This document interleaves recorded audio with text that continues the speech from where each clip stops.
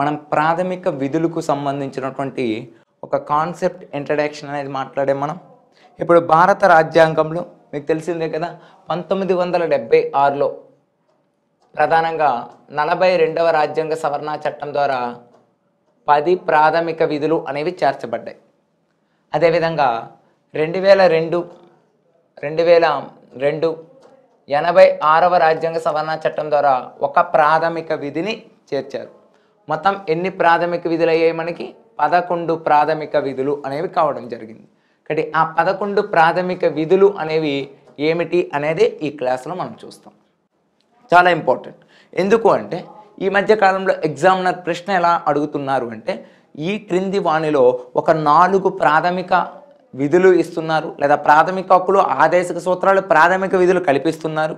ఇందులో ప్రాథమిక విధుల్ని గుర్తించండి అని అడుగుతున్నారు. లేదా ఒక నాలుగు ఇస్తున్నారు అందులో సరికానిది ఏమిటి అని అడుగుతున్నారు. మరి అటువంటి సందర్భంలో పదకొండు ప్రాథమిక విధుల్లో ఉండే ఇన్ఫర్మేషన్ అనేది మనం గుర్తుండాలి.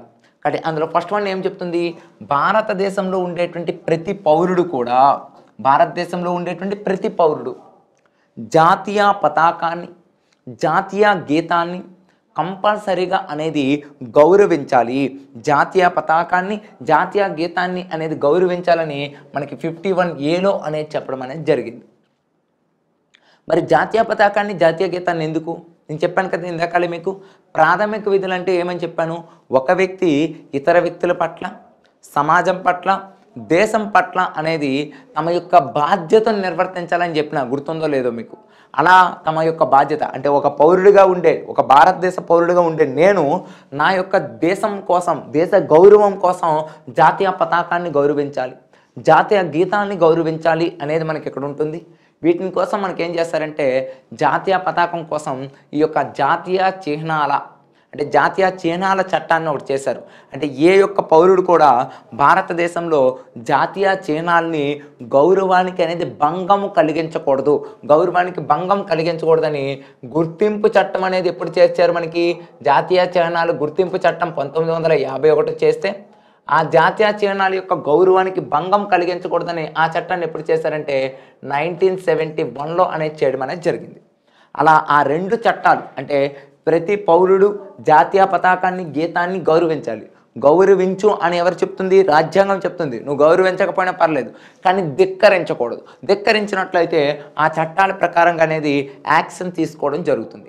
కాబట్టి జాతీయ పతాకాన్ని జాతీయ గీతాన్ని గౌరవించాలని ఈ యొక్క ప్రిన్సిపాల్ని ఇంప్లిమెంటేషన్ చేయడం కోసం జాతీయ చీనాల గౌరవ గుర్తింపు చట్టాన్ని నైన్టీన్ ఫిఫ్టీ వన్లో చేశారు.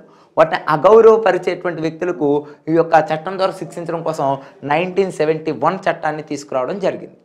ఇక రెండు ఏంటంటే రాజ్యాంగానికి బద్దుడై ఉండుట ఆదర్శాలను మరియు ఇంకేంటంటే ఈ యొక్క జాతీయ స్వతంత్ర పోరాటానికి స్ఫూర్తినిచ్చినటువంటి ఉన్నత ఆదర్శాలను మనస్సునందు ఉంచుకొని వాటిని అనేది అనుసరించుట అనేది. ఇది మనకి ఎందులో వస్తుందంటే బీలో రావడం జరుగుతుంది. అంటే ఏంటి? రాజ్యాంగానికి అనేది రెస్పెక్ట్ చేయాలి. అంతేకాకుండా ఏంటి? ఉన్నతమైన ఆదర్శాలు ప్రతి పౌరుడు కూడా అలవాటు చేసుకోవాలి. ఆ ఉన్నతమైనటువంటి ఆదర్శాల ద్వారా ఉన్నత స్థానాలకు అనేది చేర్చుకుంటూ ఆ యొక్క విధానాల్ని స్వతంత్ర పోరాటం యొక్క స్ఫూర్తి. ఎందుకంటే దేశానికి ఈరోజు ఇంత ఫ్రీడమ్గా మనం ఉంటున్నామంటే అది మనకి స్వతంత్ర సమర యోధులు ఇచ్చినటువంటి ఒక బిక్స్గా చెప్పుకోవచ్చు. బ్రిటిష్ వారి కాలంలో ఎటువంటి స్వేచ్ఛ స్వతంత్రాలు అనేవి భారతదేశంలో లేవు. కానీ ఈరోజు ఇంత స్వేచ్ఛ ఇంత స్వతంత్రం అనేది భారతదేశంలో ఉన్నదంటే నిజంగా స్వతంత్ర సమర యోధులు మనకు పెట్టినటువంటి భిక్ష.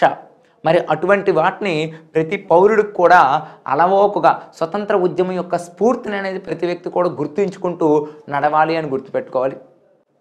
ఇక మూడు ఏంటంటే దేశ సార్వభౌమత్వం ఐక్యత అఖండత సమర్థ సమర్థించుటకు మరియు సంరక్షించుట. అంటే దేశం యొక్క సార్వభౌమ అధికారం ఏదైతే ఉంటుందో ఆ సార్వభౌమత్వానికి దేశం యొక్క ఐక్యతకు దేశం యొక్క అఖండతను సమర్థించుట మరియు సంరక్షించుటకు ఎల్లవేళ్ళ ప్రతి పౌరుడు కూడా మనం ఏం చేయాలంటే ప్రతి పౌరుడు కూడా సంసిద్ధంగా ఉండాలి. నెక్స్ట్ వన్ ఏంటి? దేశాన్ని రక్షించుట మరియు కోరినప్పుడు జాతికి సేవ చేయటం చాలా చాలా ఇంపార్టెంట్.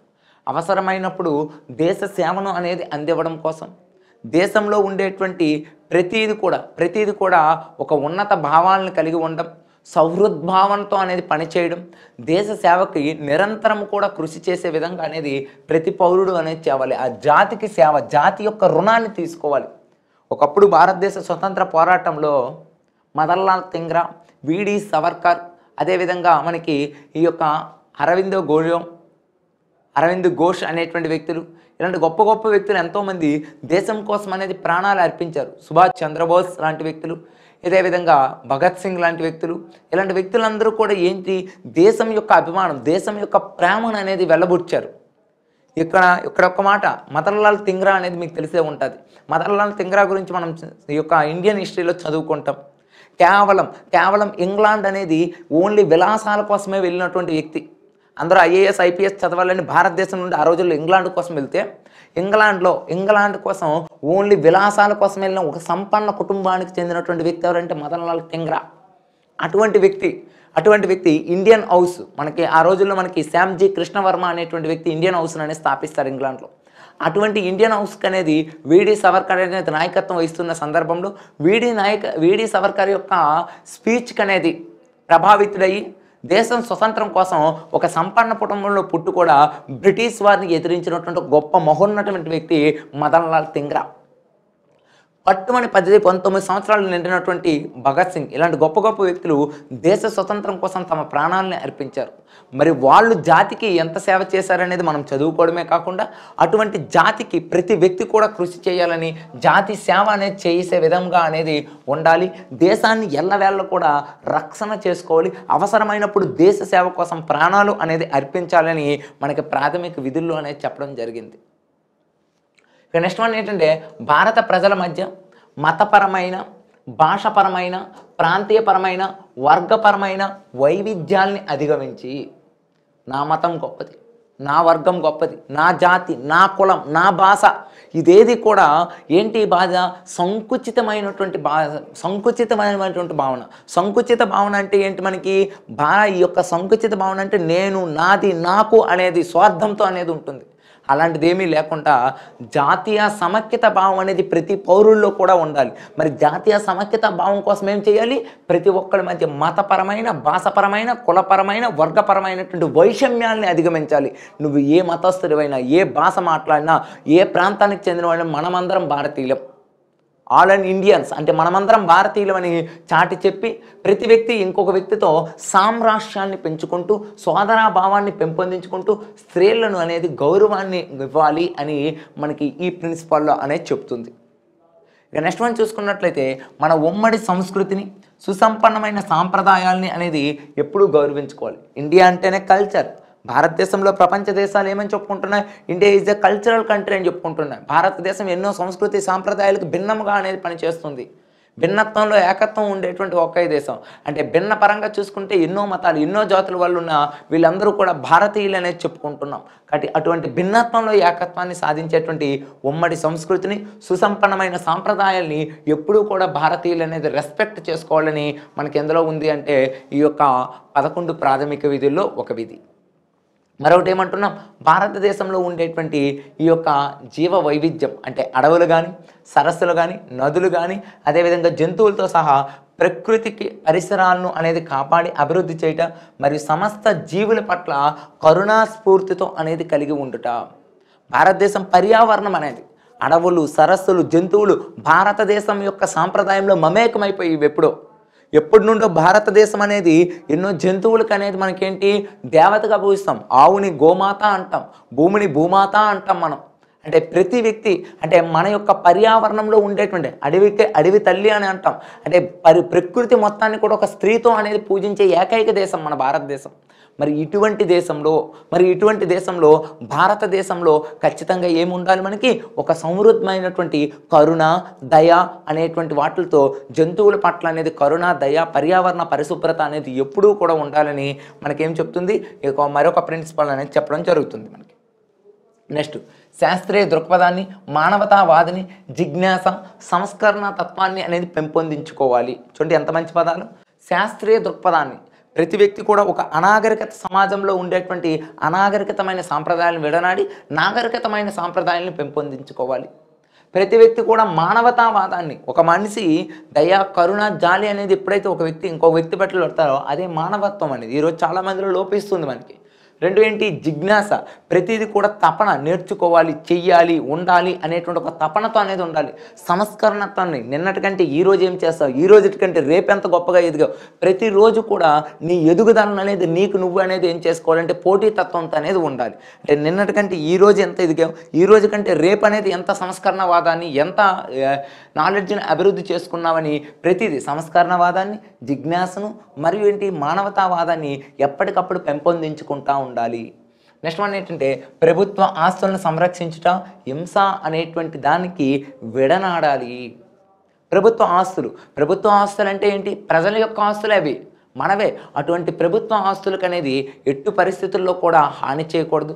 హింసాత్మకమైనటువంటి కార్యకలాపాల్లో పాల్గొనకూడదు. హింసను విడనాడాలి అని చెప్పేది ఏంటి అంటే మనకి ఈ యొక్క ప్రిన్సిపల్ నెక్స్ట్ వన్ వ్యక్తిగత సమిష్టి చర్యలు ప్రతి కార్యరంగంలోనూ కూడా అత్యున్నతమైన స్థానాన్ని పొందడానికి కృషి చేయడం తద్వారా దేశ అత్యున్నత శిఖరాలని అధోరించడం. అర్థమవుతుందా? ఇది అర్థమవ్వాలంటే మీకు నేను ఒక మాట అంట. మనమందరం కూడా జై భారత మాత అంటున్నాం. జై భారత మాత అంటే ఎవరికి జై కొడుతున్నాం మనం? ఇదే ప్రశ్న నేను ఆఫ్లైన్ క్లాసుల్లో అడుగుతూ ఉంటా. జై భారత మాత జై జై భారత మాత అంటే ఎవరికి జై కొడుతున్నాం మనం? ఎవరికి కొడుతున్నాం? జై మాత జై భారత మాత అంటే భారతదేశానికి. మరి భారతదేశం అంటే ఎవరు? ప్రజలు. భారతదేశం అంటే ఎవరు? మన చుట్టూ ఉండేటువంటి సంస్కృతి సాంప్రదాయాలు. అంటే ఒక వ్యక్తి సంస్కృతి సాంప్రదాయాలు భారతమాత జై అంటే మనమే. అంటే మనకు మనమే జై కొడుతున్నాం. మనకు మనమే జై కొడుతున్నాం అంటే ఒక వ్యక్తి అనేది ఉన్నారు. ఒక వ్యక్తి ఏ కార్యరంగంలోకి వెళ్ళినా మంచి అభివృద్ధి సాధించి ఆ కార్యరంగం ద్వారా పై స్థాయికి అనేది వెళ్ళినట్లయితే పై స్థాయికి వెళ్ళినట్లయితే ఆ కార్యరంగంలో మంచి అభివృద్ధి కనబరిచినట్లయితే మరొక పది మందికి ఉపాధి కల్పించే దిశగా అనేది అతను అడుగులు వేసినట్లయితే అతను ఏం చేస్తారంటే ఒక భారతమాత ముద్దు బిడ్డ. భారతమాత సేవ అంటే ఏదో వెళ్ళి చేసుకోవాల్సిన లేదు. మనం ఏ రంగంలో ఉన్నామో ఆ రంగంలో ఉన్నతమైనటువంటి స్థాయికి అనేది ఎదుగుదలే భారతమాత యొక్క మన భారతమాతకి ఇచ్చినటువంటి జై కొట్టడము అనేది. అంటే మనం అభివృద్ధి చెందితే దేశం అభివృద్ధి చెందుతుంది. కాబట్టి ఈ యొక్క జై జై భారతమాత అంటే మనకు మనమే. మనకి ఎవరు చేయకూడతారు మనం ఉన్నత స్థాయిలో ఉంటేనే ఎవరైనా చేయకూడతారు కాబట్టి అటువంటి ఉన్నత ఆదర్శాల కోసం ఏ రంగంలో పనిచేసినా ఆ రంగంలో అనేది నీతి నిజాయితీగా అనేది ఎదుగుదల అనేది ఉండాలి అని చెప్పేది ఏంటంటే మరొక ప్రాథమిక విధి. నెక్స్ట్ ఏంటి ఆరు నుండి పద్నాలుగు. ఇదే మనకేంటి? ఇటీవల కాలంలో మనకేం చేశారంటే రీసెంట్గా ప్రాథమిక విధి అంటే రెండు వేల రెండు మీకు చెప్పాను కదా రెండు వేల రెండు ఎనభై ఆరవ రాజ్యాంగ సవరణ చట్టం ద్వారా ప్రధానంగా మనకి ఏంటంటే ఆరు నుండి పద్నాలుగు సంవత్సరాల వయసు కలిగినటువంటి బాలలకు అనేది తల్లి లేదా సంరక్షకుడు యొక్కకు విద్యార్థుల అవకాశాలను కల్పించవలను అనే పదకొండవ ప్రాథమిక విధిని అనేది చేర్చడం అనేది జరిగింది. మరి ఈ పేదక మీద ఇది ఎప్పటి నుండి అమల్లోకి వచ్చింది అంటే మనకి ఇదిగోండి పన్నెండవ డిసెంబర్ నుండి అమల్లోకి వచ్చింది టూ థౌజండ్ టూ. అంటే two thousand two eighty six కాన్స్టిట్యూషన్లో పన్న పదకొండవ ప్రాథమిక విధి డిసెంబర్ పన్నెండు నుండి అమల్లోకి రావడం అనేది జరిగిందని గుర్తుపెట్టుకోవాలి. నెక్స్ట్ ఈ యొక్క ప్రాథమిక విధులకు సంబంధించి పదకొండు ప్రాథమిక విధులు కూడా మనం చూసాం. మరి ఈ ప్రాథమిక విధులకు సంబంధించి కొన్ని విమర్శనాత్మకమైనటువంటి వ్యాఖ్యలు కూడా ఉన్నాయి. ఏంటవి?